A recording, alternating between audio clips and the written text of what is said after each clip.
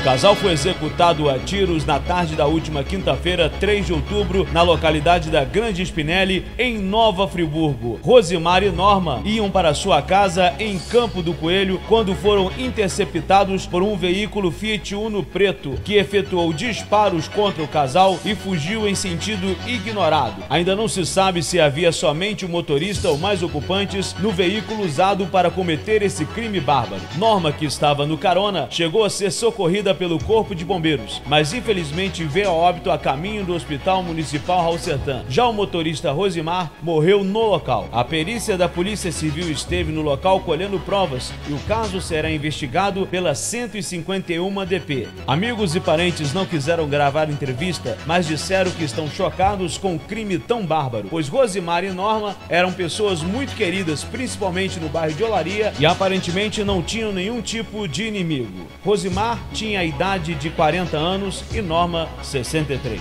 Direto da redação, Michael Queiroz para o Blitz News.